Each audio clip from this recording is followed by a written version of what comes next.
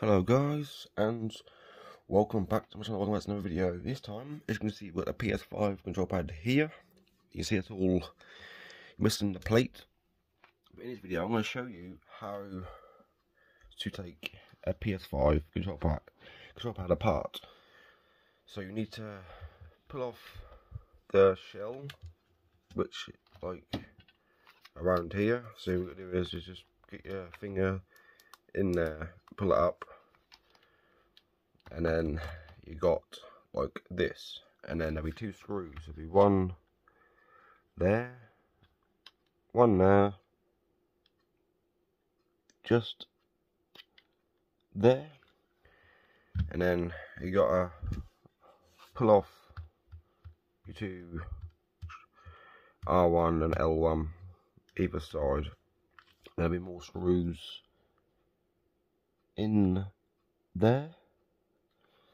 And then when you take it off, you'll be careful of these two bits here. So you should probably see there and there. So when you take it off, you need to push down like that. Either side. Let's just try and do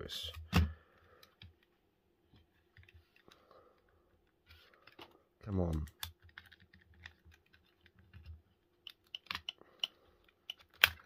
There we go.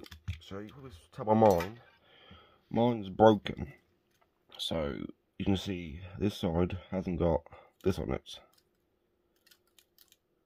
And it also hasn't got the wire for the microphone because it's broken. And if you need to get out this bit out, undo these four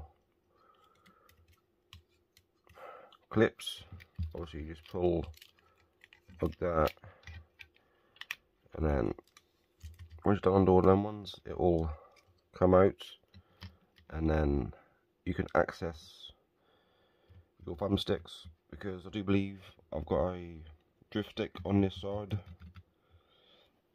So I'm gonna try and get it fixed if I can but yeah obviously this side is good this side's a bit broken.